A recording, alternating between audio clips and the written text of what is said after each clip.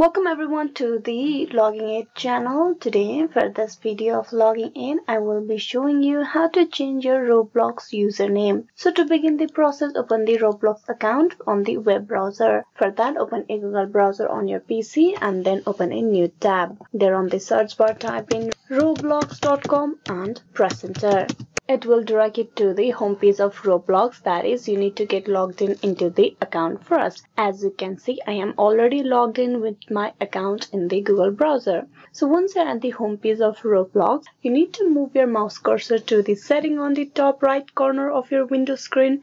Click on setting icon. From there, click on settings.